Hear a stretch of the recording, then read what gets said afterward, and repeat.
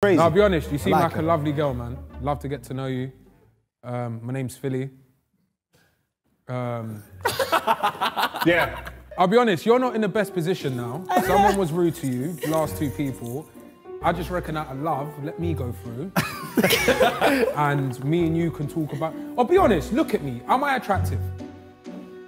Oh the pause! No, no, Filly! I can't lie. She done you dirty, my boy. No, you're fair. You deserve better. You deserve I deserve better. better. My friend deserves better than that.